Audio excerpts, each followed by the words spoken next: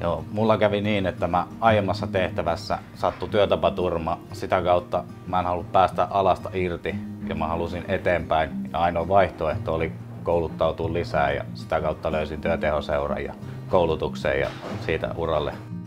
Opiskelin TTSllä rakennusalan työmaanjohdon erikoisammattitutkintoa, johon sisältyi työharjoittelu.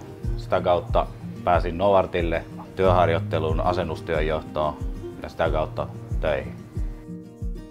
Opiskelu TTS oli mukavaa, hauskaa, sai uusia ystäviä, mitkä on edelleen, ketkä on myös päässyt eteenpäin uralla. Ja sai niin kontakteja siitä ja se oli tosi mukava tulla. Harmi vaan kun se päättyy.